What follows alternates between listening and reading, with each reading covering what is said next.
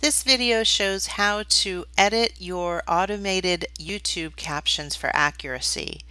After you've uploaded a video to YouTube, it will process and add automated captions. And you'll know that that's been done when you see the little CC icon appear at the bottom of your video.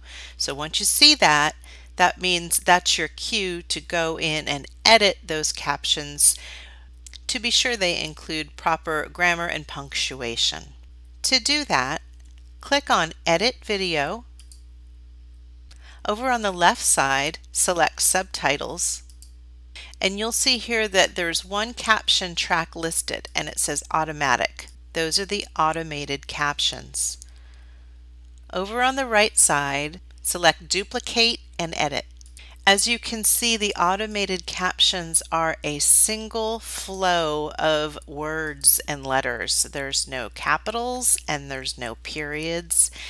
And that is not a very effective alternative to the spoken track. So I'm going to go in now and edit the text for accuracy.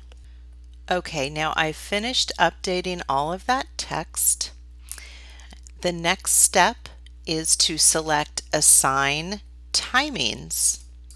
Now over on the right side, select the blue Publish button.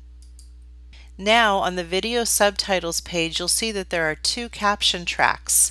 The top one is the one that you just added. You see it says it was added by creator. The bottom one is that automatic one. So now what we want to do is go over to the right of the automatic track, select the three dots and choose delete.